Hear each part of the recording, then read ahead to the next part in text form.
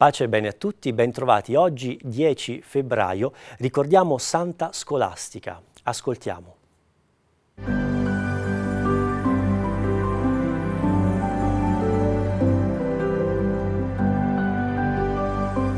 Scolastica nasce a Norcia nel 480. Sorella di San Benedetto, giovanissima si consacrò al Signore e assieme al fratello si avviò alla vita religiosa monastica. Lei fondò le Benedettine, dando un contributo fondamentale alla nascita del monachesimo femminile occidentale. Come il fratello, che dettò la regola al suo monastero sorto vicino a quello di Monte Cassino, Scolastica divise il tempo delle sue monache in preghiera, lavoro, studio e riposo. All'inizio suor scolastica, saliva una volta all'anno dal fratello per parlare con lui. Ma poiché la strada era impervia e pericolosa, San Benedetto decise di andare lui a trovare annualmente la sorella. In una di queste volte, prima che il fratello andasse via, gli chiese di restare perché avvertiva che non si sarebbero più rivisti in futuro. Ma il monaco rimproverò la sorella perché non poteva infrangere la regola e trascorrere la notte fuori dalla sua cella. La monaca pregò il Signore affinché ascoltasse le sue preghiere e un forte temporale costrinse Benedetto a rientrare al suo monastero la mattina seguente. Trascorsero dunque la nottata in preghiere, conversazioni e pii esercizi di pietà.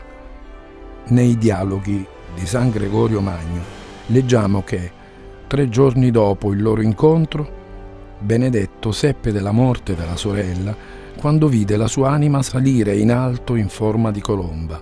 Mandò allora i suoi monaci a prendere il suo corpo per dargli sepoltura nella tomba che aveva fatto preparare per sé a Monte Cassino e dove poi sarà sepolto anche lui. Santa Scolastica, sorella gemella di San Benedetto. Pensiamo a questa mm, sua particolarità, insomma, che nel monastero, nella sua regola, c'era appunto questa norma del silenzio, quindi la parola solamente utile e solamente utilizzata quando si trattava di comunicare le cose di Dio, le cose del Signore. Aveva un'usanza insieme al fratello, pilastro del monachesimo, quella di incontrarlo una volta all'anno in una casa che era, diciamo, collocata a metà strada tra i due monasteri. Immaginiamo questo momento speciale, questo grande momento di santità tra questi due, mm, due, persone speciali, due persone che cercavano di fare del Signore proprio il centro della loro vita. E sappiamo anche quanta intesa ci sia tra due gemelli. Veniva il momento però di separarsi e una volta Santa Scolastica eh, aveva bisogno effettivamente di continuare a godere della compagnia del fratello.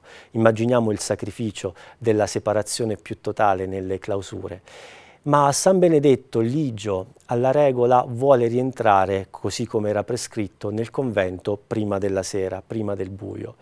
E Santa Scolastica piange, piange dirottamente, piange forte e quasi il tempo atmosferico al di fuori sembra seguirla, perché si scatenò un temporale talmente forte che San Benedetto rimase bloccato proprio lì e riconobbe in questa situazione quasi un miracolo vero e proprio, in cui il Signore, ascoltando la necessità e il bisogno di Santa Scolastica, ha impedito proprio praticamente a San Benedetto di andare via. E quindi sono rimasti e hanno continuato ad approfondire in intimità suprema la conoscenza del Signore.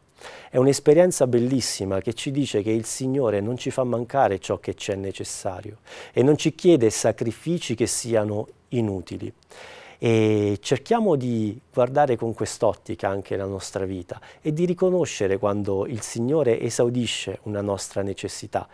Nell'epoca in cui tutto è dovuto, forse eh, ci stiamo abituando anche al fatto che il Signore ci, ci vizia ogni tanto, ci coccola ogni tanto, anzi più di ogni tanto. E chiediamo proprio a Santa Scolastica di diventare capaci di riconoscere quando il Signore ci è vicino nella nostra vita e sta agendo, ascoltando e rispondendo ai desideri del nostro cuore con tanto affetto. Santa Scolastica prega per noi.